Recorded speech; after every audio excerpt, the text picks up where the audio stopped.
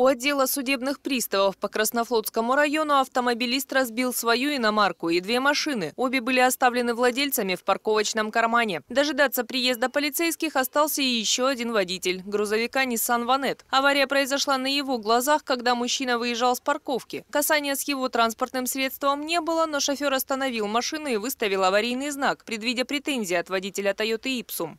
Ну как, ну я не знаю, что приедет ГАИ, то я уеду, он на меня все спишет, что я виновник, что я вроде ему тут помеху создал. Я уже выехал, пропустил пешеходов, они сзади проходили. Вот, ну, как он не сбил их пешеходов еще, я не знаю, он летел тут километров 80.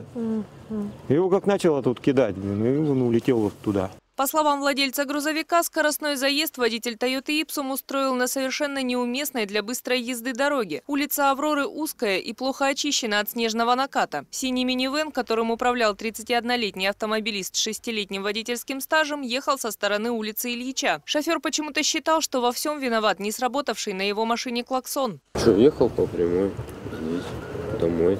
Уезжает, пофакать. Не работает, ну, не сработал.